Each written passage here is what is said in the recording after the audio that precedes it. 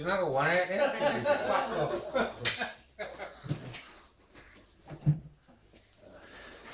So, you have your speech, so. Thank you, Kathy, for nominating me for this Ice Bucket That's all right, Challenge. Tony.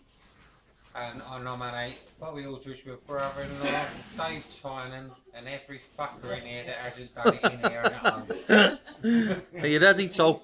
Now remember, lads, slow and gentle, like Tony said, it's slow and gentle. Who's first?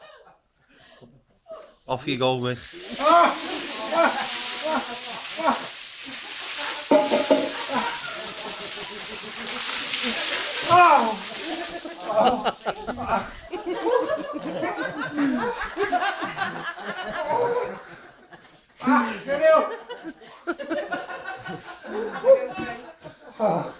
Oh, still through the ice in it. It's all in your pocket.